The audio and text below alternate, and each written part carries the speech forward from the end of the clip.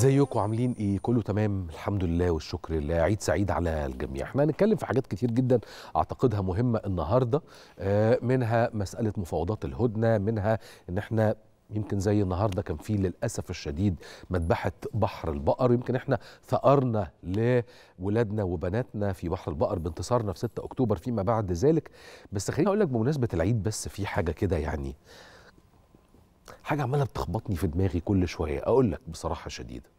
آه أنا أقعد يعني بتابع كويس جدا مسألة الأسعار بتاعة السلع والمنتجات المختلفة اللي موجودة عندنا في مصر. وخصوصا بعد توقيع اتفاق رأس الحكمة والإجراءات اللي خدها البنك المركزي المتعلقة بتحرير سعر الصرف انخفاض سعر الصرف بتاع الدولار أو العملات الأجنبية قدام الجنيه بعد هذا ال ال القرار من البنك المركزي يعني بعد الاتفاق ثم قرارات البنك المركزي إلى آخره.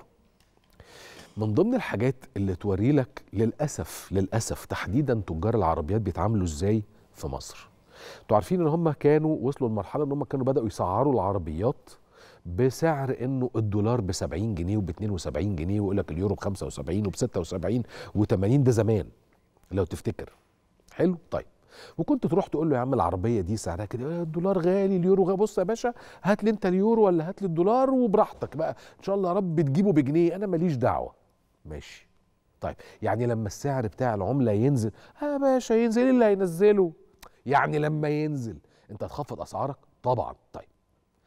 والكل وللأسف بالمناسبة أغلب التوكيلات أو يمكن كلها حطت السعر عالي جدا اللي موجود في التوكيل. التجار يروحوا عاملين إيه؟ يقول لك عاوز تستلم وقتي؟ بالظبط كده. فوري؟ حط لي بقى إيه؟ 500 600 في بعض العربيات كان بيتحط فيها مليون واتنين وحاجة تخوف يعني. ماشي. مفترض جدلا إن السعر بتاع الدولار لما نزل يبقى بنفس نسبة الهبوط هي هي ينزل سعر المنتج. لأن هو كان بيقول أنا مسعر على 70 و72 طب لما مثلا وصل ل 39 في أحوال ما نزلتش أنت للتسعه قال لك إحنا بس مستنيين لحد ما السوق يستقر. طب السوق مستقر تقريبا على 47 دلوقتي. هل أنت نزلت بالسعر بتاعك بنفس النسبة المئوية اللي هي من 79 لحد 47 هنشوف النسبة دي قد إيه. أظنها تقريبا 35% تقريبا. هل أنت نزلت بسعر العربية 35% لا. عملوا إيه بقى؟ عشان تشوف الاشتغالات بتاعه هذا القطاع بصراحة. بينزلوا من سعر ال over price مش من سعر العربية الرسمي. بينزل من إيه؟ من ال over price طيب بعد كده بعض أصحاب العلامات التجارية أو بعض توكيلات العلامات التجارية المحترمة برضه دول ناس محترمة نزلوا بالفعل من السعر الرسمي بتاعهم. مش هقدر أقول الماركة طبعا بس في بعض الماركات ماركة كوري على سبيل المثال وماركة حلوة نزلت تقريبا حوالي 600 ألف جنيه من سعرها الرسمي. خطوة. لكن تقعد تفكر لو انت كنت بتبيع العربية دي ب 10 جنيه لما كان الدولار ب 15 ونص يبقى الدولار لما بيبقى ب 47 47 ونص المفترض انك تضرب سعر العربية في كام؟ في 3 يبقى أم 10 هتبقى بكام؟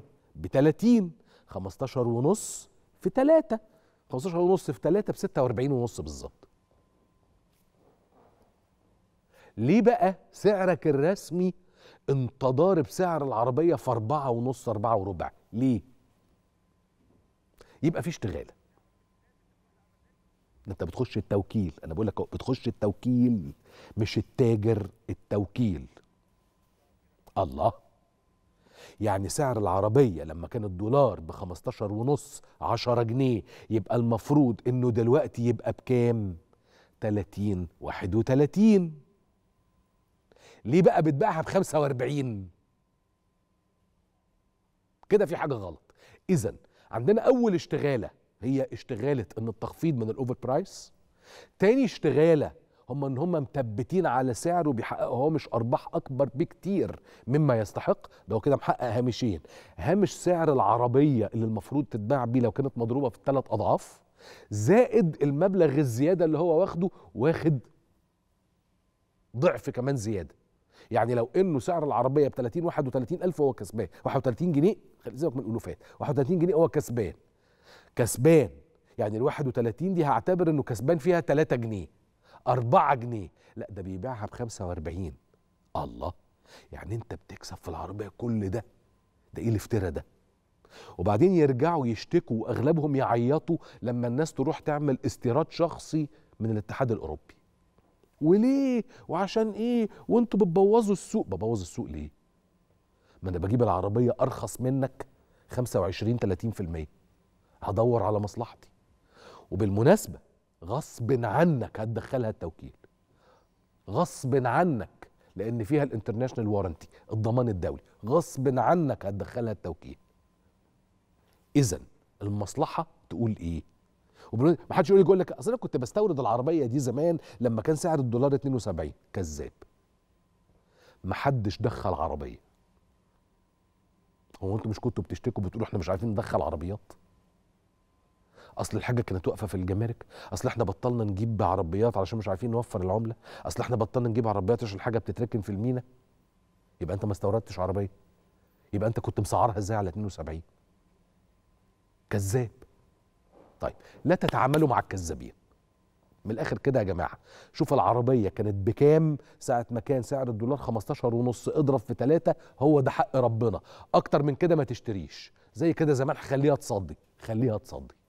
خليها عندك. ولو جيت بصيت هتلاقي السوق متروس عربيات 23 مع إنه دلوقتي بدأت الناس تتكلم في موديلات ال 25 يعني في أوروبا بدأت الناس تحجز موديلات موديلات سنة 2025 السوق دلوقتي متروس 23 ده يفهمك بالظبط سوق العربيات بيعمل إيه. على كل وجب التوضيح ووجب إظهار الاشتغالات اللي بتتعمل معانا وال وال وال وال والأمر والقرار في إيدك أنت. لو نزلت اشتريت انت اللي غلطان. لو وافقت على السعر ده لو وافقت على السعر ده انت اللي غلطان. تاني لو وافقت على السعر ده انت اللي غلطان. براحتك. ما أقدرش أقول لك اشتري ولا ما تشتريش ماليش فيه. أنا لو أنا لو أنا يوسف وعاوز اشتري لا مش هشتري حاجة. خالص. ولا عمرو زكريا هيشتري حاجة. خالص. لأنه ده اسمه افتراء. ده اسمه إيه؟ افتراء طيب تعالوا بقى نخش على الكلام الجد. مفاوضات الهدنة لا زالت مستمر متواصلة المفاوضات بتاعة الهدنة لحد يمكن اللحظات الأخيرة قبل الإفطار. وبالمناسبة مفاوضات الهدنة بتستمر حتى بعد ميعاد الفطار في بعض الأحوال وما إلى ذلك. محكمة العدل الدولية بدأت تعمل أو بالأدق عقدت أول جلسة ليها للاستماع في الدعوة اللي رفعتها دولة نيكاراجوا ضد مين؟ ضد ألمانيا الاتحادية طب الدعوة اللي ضد ألمانيا بغرض الإيه؟ ألمانيا ملهاش علاقة باللي بيحصل على الأراضي الفلسطينية، نيكاراجوا قالت لك لا، قالت لك ألمانيا اتخذت مجموعة من القرارات من شأنها تسهيل الإبادة في غزة. الله. طيب السؤال بقى تعالى هنا نفصص الموضوع حبتين. هل في دول كتير في أوروبا وطبعا غير الولايات المتحدة الأمريكية نقدر نعتبرهم شركاء في هذه الإبادة؟ هقول لك آه، تقول لي طب إزاي؟ أقول لك بص كل من اتخذ موقفا صامتا أو كل من لم يشجع على اتخاذ إجراء واضح حاسم ضد الكيان الصهيوني المحتل للأراضي العربية في فلسطين يعتبر شريك إزاي طيب هو الدول دي مش بتصدر للكيان الصهيوني ايا كانت المنتجات يعني في دول بتصدر سلاح ودول بتصدر ذخاير ودول بتصدر تكنولوجيا ودول بتصدر مكن ودول بتصدر منتجات مختلفة. كتير. خلاص؟ طيب.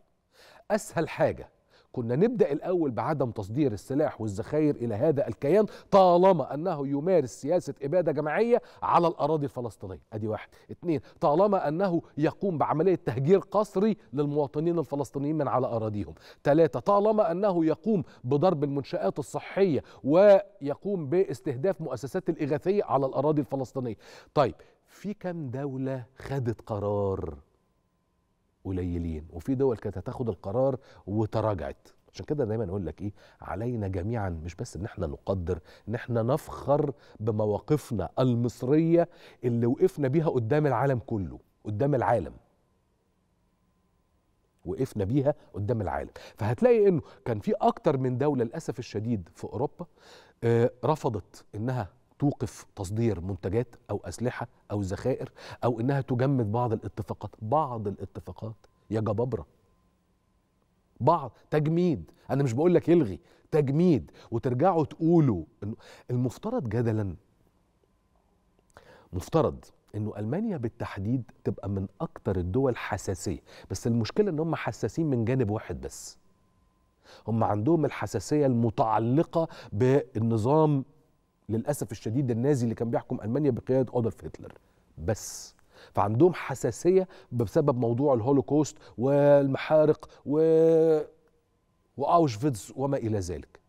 أما فيما يتعلق بأي حاجة تانية ودن من طين ودن من عجين وكأنه ما شافش. يعني هل الألمان على سبيل المثال شايفين إن اللي بيحصل على الأراضي الفلسطينية من 48 أقل جرما وفداحة خد بالك أقل جرما وفداحة مما جرى ليهود أوروبا في فترة من 1939 ل 1945 أثناء الحرب العالمية الثانية. تبقى مصيبة لو حد شايف إن اللي بيحصل للفلسطينيين أقل من ذلك. أكاد أقول لك لا ده أنا مش أكاد ده أنا أجزم إن أنا أقول لك اللي بيحصل للفلسطينيين أفدح وأقصى وأكثر وحشية من اللي حصل لليهود أيام هتلر. أكثر وحشية.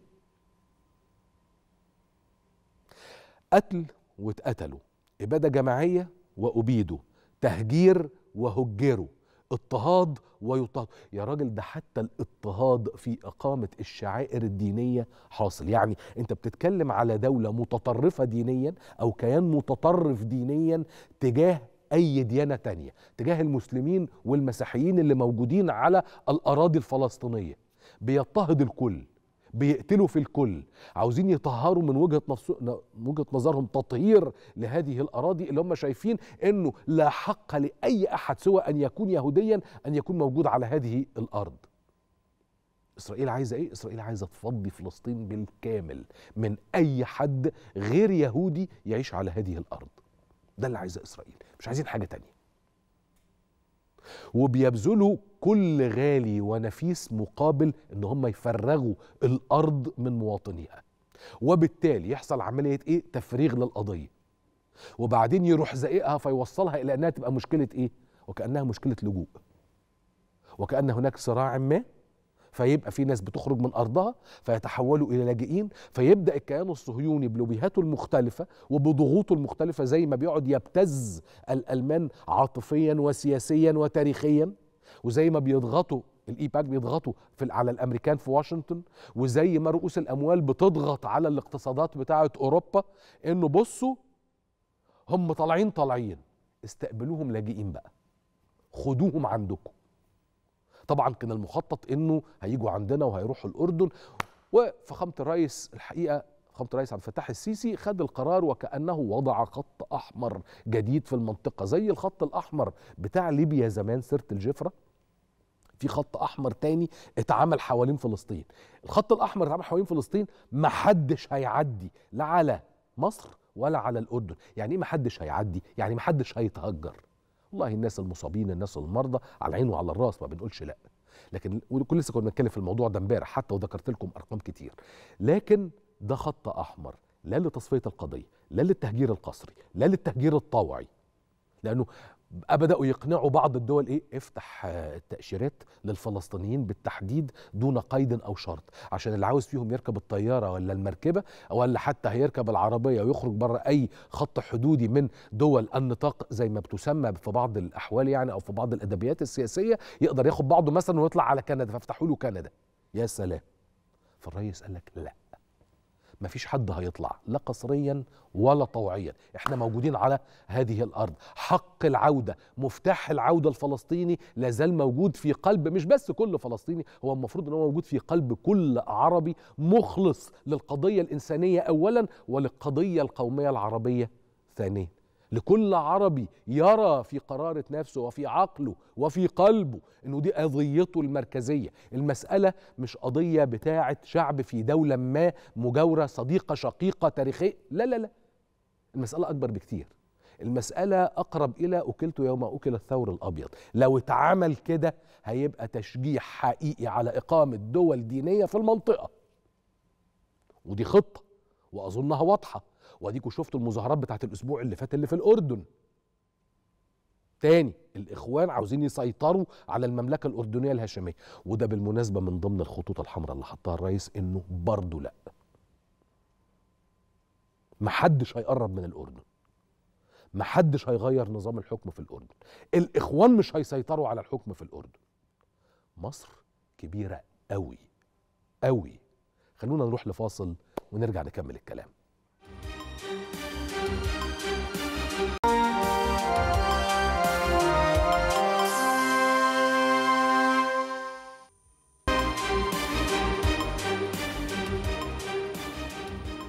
أهلا أهلا أهلا إزيكم عاملين؟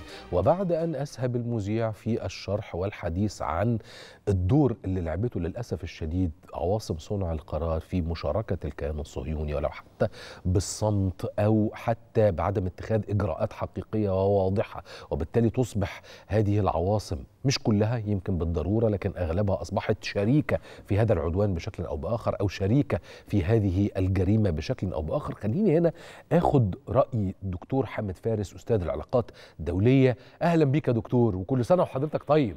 معالي النائب المحترم الجليل الشاطر كل سنة ومعاليك بألف خير يا فندم. الله يخليك يا دكتور. دكتور آه نيكاراجوا وهي بترفع هذه الدعوة ضد ألمانيا وشايفة أنه ألمانيا قامت بتسهيل الإبادة الجماعية في غزة. رأيك إيه في هذه المسألة؟ كيف قامت ألمانيا من وجهة نظر نيكاراجوا بتسهيل عمليات الإبادة؟ طبعا يعني لابد أن يعلم القاصي والداني أن إسرائيل تحصل على أسلحتها أو أكثر دولتين تعطي أسلحة لإسرائيل هي الولايات المتحدة الأمريكية وألمانيا. الولايات المتحدة الأمريكية تمد إسرائيل بحوالي 69% من الأسلحة التي تحتاجها، ألمانيا بتمد إسرائيل بحوالي 30% من الأسلحة أيضا وبالتالي 99% من.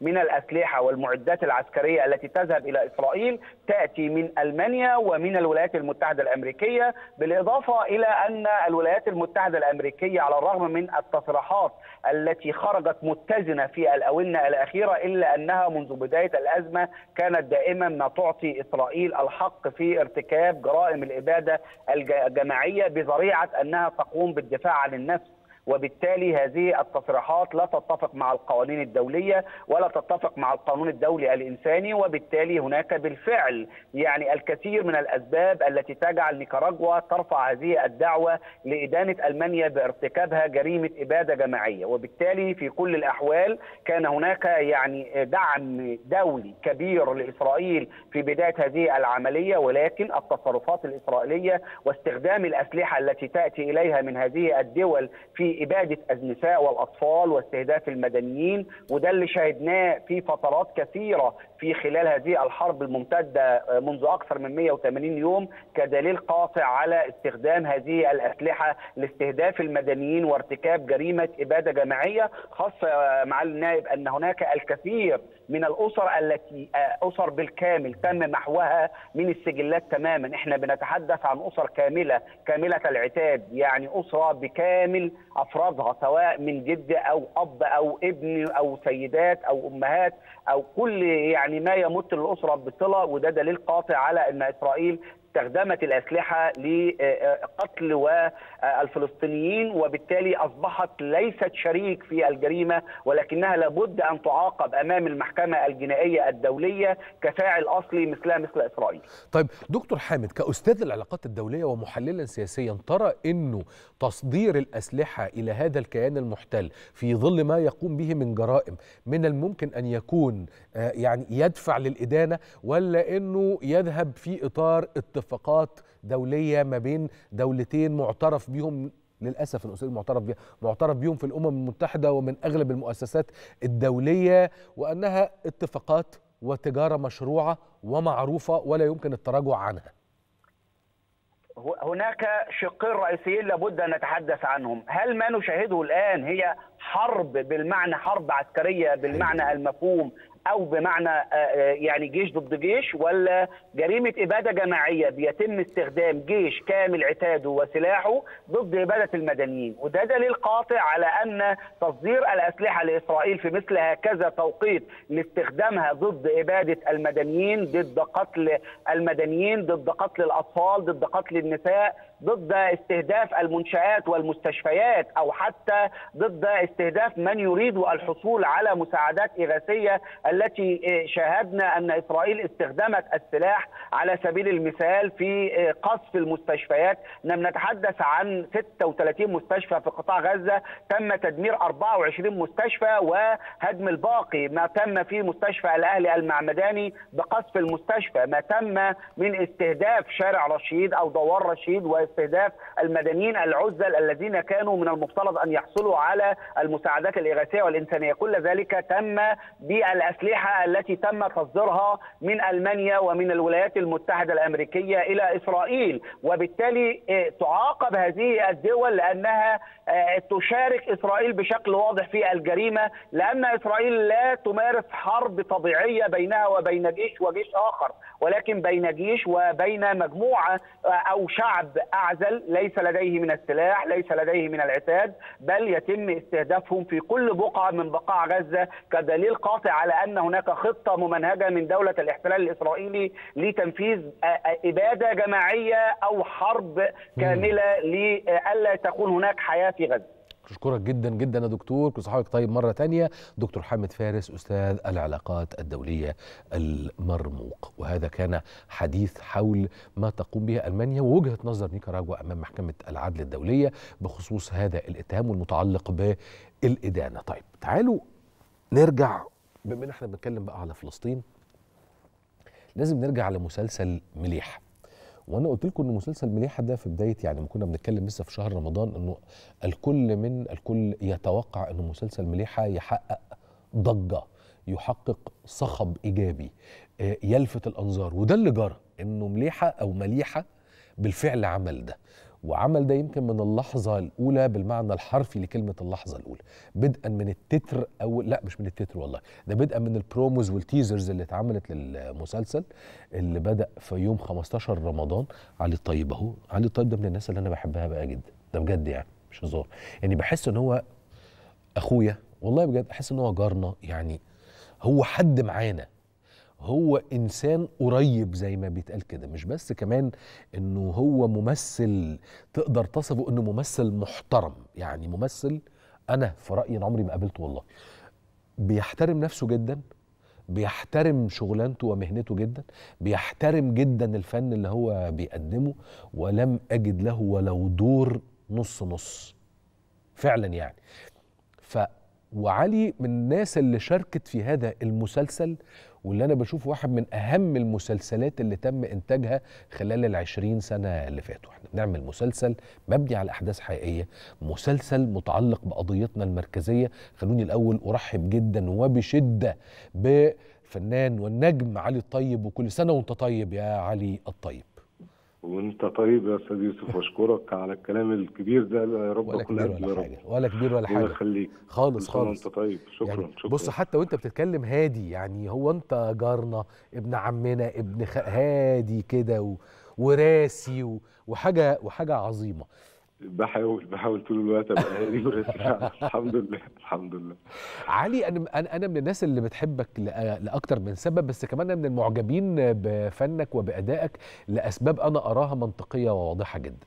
أنت بتقدر يخليك. تقدم الأدوار اللي نقدر نسميها الدور الرصين بامتياز وبتقدر تقدم الأدوار اللي فيها خفة دم دون أي إسفاف.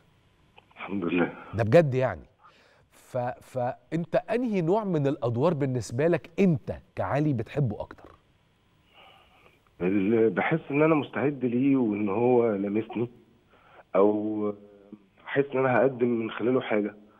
آه، كل دور بتبسط وأنا بقراه آه. وبحس إن أنا هعرف أقدم فيه حاجة أو أو شايف الزاوية بتاعت الدور ده اللي ممكن تتقدم منه. آه، أو في تحدي ليا وأنا مستعد للتحدي ده عكس ما أكون أنا مش مستعد. آه. بكون خايف جدا لأن بخاف تجيلي فرصة آه، مهمة وأنا مش جاهز. Okay. طب يعني إيه معنى جاهز أو مش جاهز؟ حاجات كتير لأنه الممثل آه، لازم يبقى جاهز بدنيا وذهنيا ومثقف كفاية بالدور اللي هو داخل يعمله. يعني يبقى شايف الدور اللي هو داخل يعمله هل قابل شبهه؟ هل ليه reference هل هو اللي هيبدأ يحاول يخلق له عالم بتاعه هو في ال history بتاعته وقصة آه. حياته كانت عاملة إزاي قبل ما الجمهور يشوفه؟ فدي كلها حاجات لو أنت مش جاهز ليها أو المشروع مثلا مش مديك المساحة إن أنت تجهز فيها بيبقى risk للممثل. وأكترية الشغل بيبقى دايما أنت بتشتغل على دورك. بال يعني بالتعاون مع المخرج دايما طبعا. وال- والسيناريست. آه، في المساحة اللي مسموحة لك. آه، فلما بلاقي ده بلاقي نفسي أنا كمان بتشجع.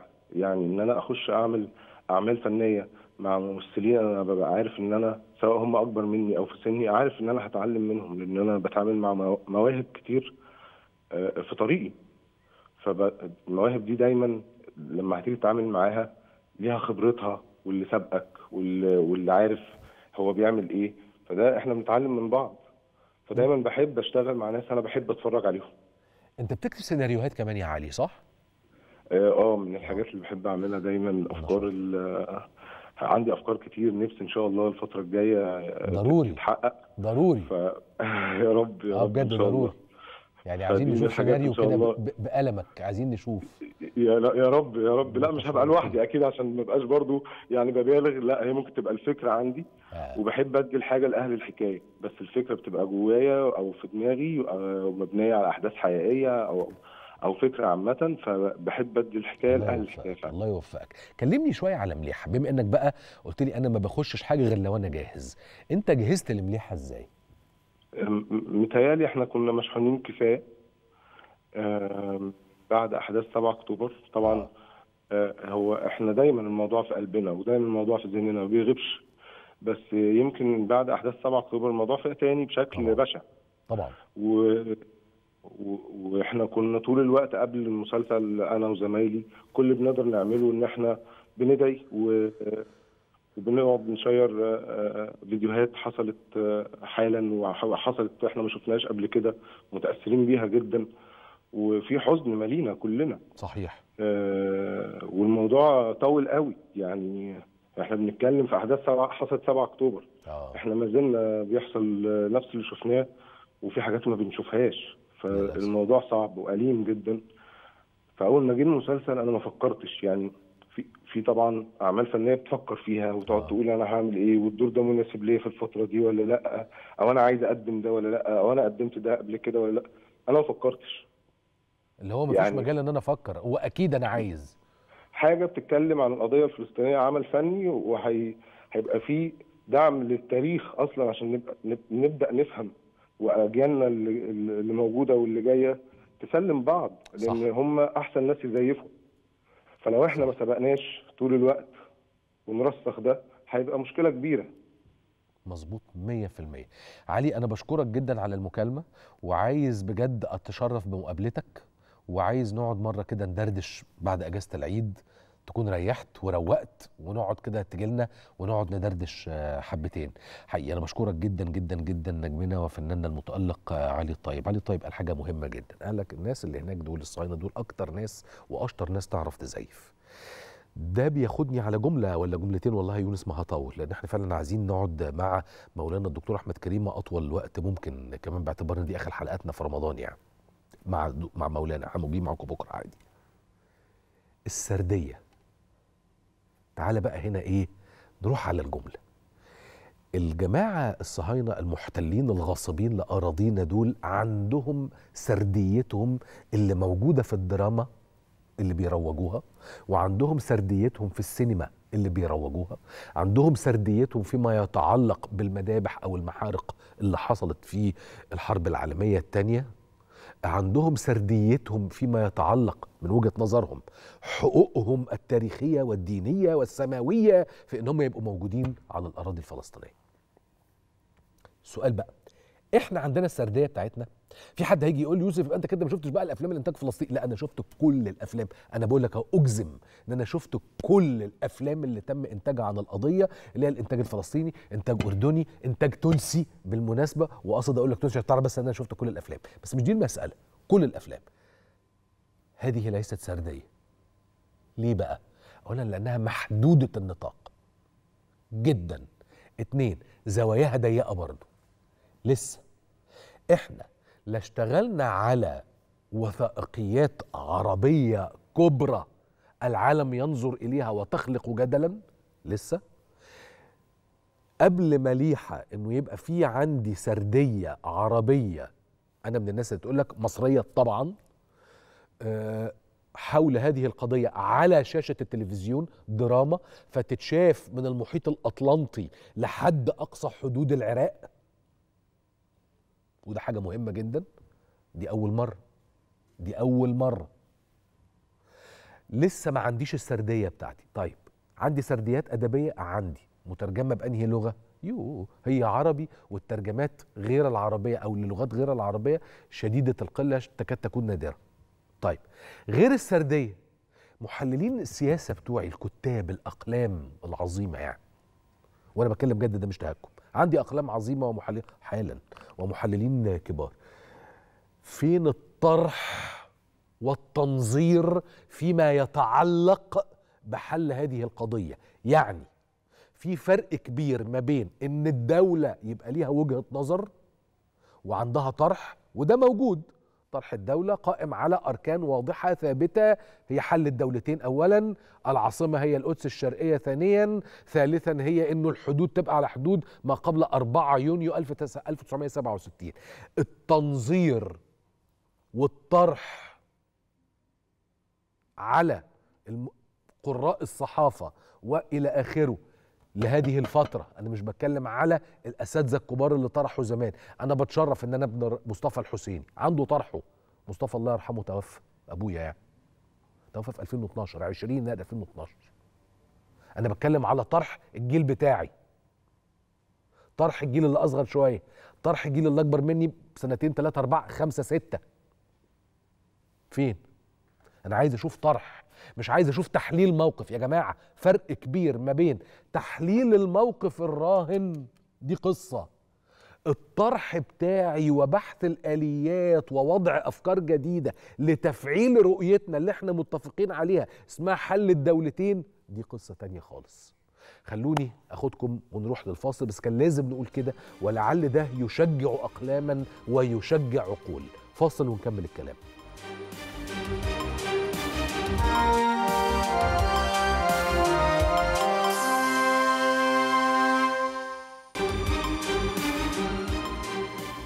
أهلا أهلا أهلا أهلا بيكم وكل الترحيب بمولانا فضيلة الشيخ الدكتور أحمد كريمة أستاذ الفقه المقارن بجامعة الأزهر. وكل سنة وحضرتك طيب يا مولانا. كل عام والإنسانية بمسلميها وغير مسلميها في خير وسلام. مولانا العيد الصغير أو عيد الفطر أعتقد أن له فقها.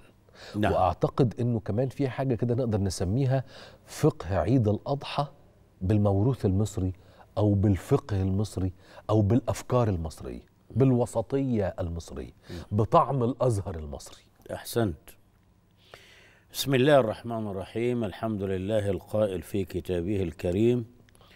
ولتكملوا العدة ولتكبروا الله على ما هداكم ولعلكم تشكرون. والصلاة والسلام على سيدنا محمد بن عبد الله ورضي الله تبارك وتعالى عن آله وصحبه ومن والاه واتبع هداه. آه، بدأ بدء آه، بعد التهاني وعظيم الأمان لشعبنا المصري ولأمتنا العربية والإسلامية بأن يتقبل الله منا الصيام والقيام وصالح الأعمال. بالنسبة لفقه المصريين فقه المصريين. كما تفضلت الإمام الشافعي رضي الله عنه حينما أتى إلى مصر من العراق فصلى أول صلاة عيد في مسجد عمرو بن العاص في الفسطاط هي مصر القديمة. مصر قديم فاستمع إلى تكبيرات المصريين. الله أكبر الله أكبر الله أكبر الله أكبر ولله الحمد الله أكبر كبيرا والحمد لله كثيرا وسبحان الله بكرة وأصيلا. لا إله إلا الله وحده صدق وعده ونصر عبده وأعز جنده وهزم الأحزاب وحده. لا إله إلا الله ولا نعبد إلا إياه مخلصين له الدين ولو كره الكافرون. اللهم صل على سيدنا محمد وعلى آل سيدنا محمد وعلى أزواج سيدنا محمد وعلى أصحاب سيدنا محمد وعلى ذرية سيدنا محمد وسلم تسليما كثيرا. الله أكبر الله أكبر ولله الحمد. أعجب الإمام الشافعي أيما إعجاب وقال ما أعظم هذا الثناء على الله عز وجل وأثبت ذلك في كتابه الماتع الأم. هذا كان وقت كان فيه عقلية فقهية. لكن أتى على الناس زمان. يعني حضرتك إحنا في العشر الأخير الذي كان من المفترض أن يغتنم في القربات والطاعات. هناك قوم استمرأوا الجدال والخلاف أو أدمنوا الخلاف والجدال. دوشوا الناس الم- الفطر. هل تكون حبوب ولا نقود؟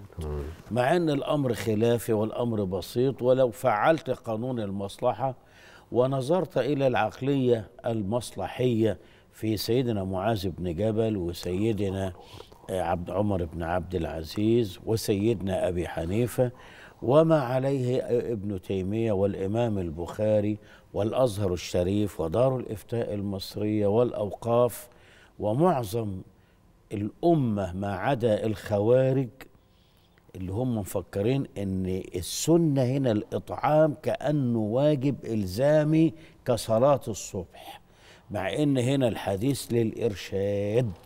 يعني الرسول صلى الله عليه وسلم لما أرشد الأمة أن تخرج من البيئة اللي هي عايشة فيها.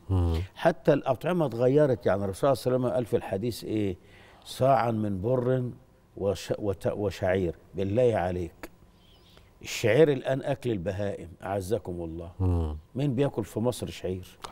الزبيب زمان كان غموس يعني تأتي به على الخبز وتغمس بالزبيب. النهاردة الزبيب اتغير أصبح في وسط الكنافة ووسط ال- ال- ال- المهلبية حلويات و- والمشمشية إلى آخره. آه، كان زمان ال- الأقط اللي هو اللبن المجفف كان بي- بي- بيتقوتوا به الآن لو أتيت لنفسك أو لغيرك عفوا مين هيأكل لبن مجفف النهاردة؟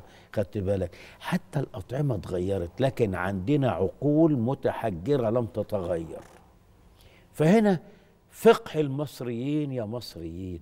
وأنا يعني الحقيقة يا ريت أن يعيننا الله في الأزهر الشريف على كتابة اجتهادات فقه المصريين في إعمال الفقه لأن ربنا في القرآن الكريم قال لعلهم يفقهون. أفلا يتدبرون؟ طيب أنا يمكن هطلع فاصل وحتى في مسألة فقه المصريين أما أن الأوان لإحياء فقه الإمام الليث بن سعد يا ريت وإنه ينشر ويدرس والولاد يشوفوا بعض. من يعني أفكاره في. الكتب المدرسية بتاعة. مادة التربية الدينية وما نعم. إلى ذلك نعم. إن إحنا نسمع هذا الفقه على المنابر يعني ده يبقى شيء عظيم ده ده الفقيه المصري خلينا نروح للفاصل ونرجع نكمل الكلام أحسن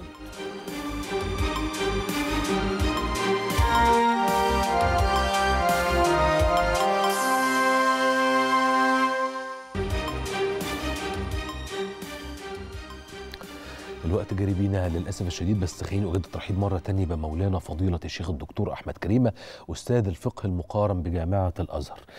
ختام آخر حلقة لينا سوا في رمضان تبقى يا مولانا. إن شاء الله بقى موضوع سيدنا الف- الليث بن سعد خليه بعد العيد بعد العيد.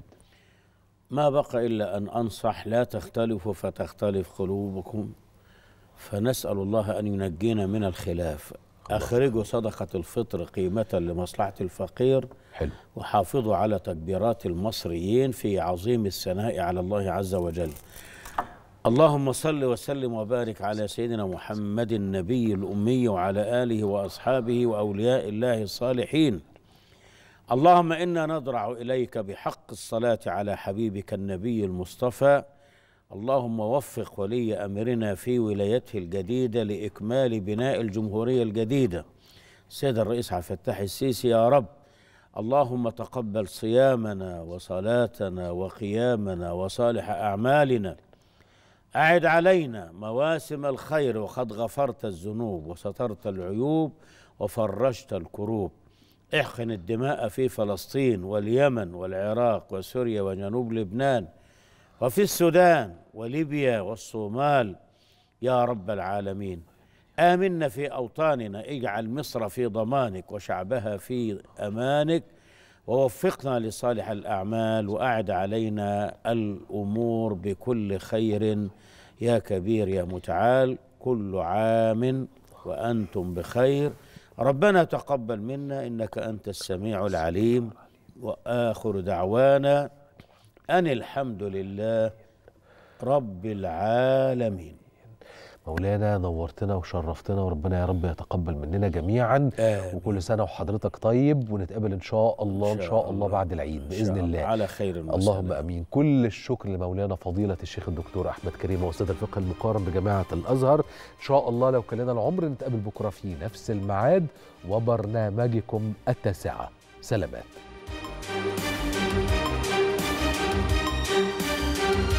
Música